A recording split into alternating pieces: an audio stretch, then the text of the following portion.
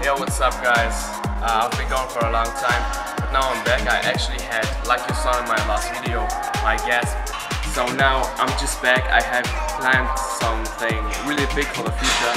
And yeah, let's go. We're doing a back workout. I'm starting off with some uh, pull-ups, heavy pull-ups, and then I go to the bodybuilding exercises. Let's say it like that.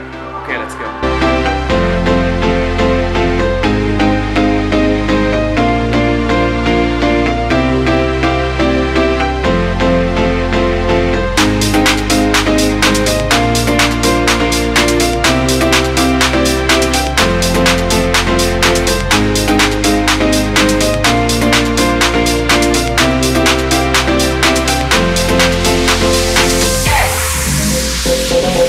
I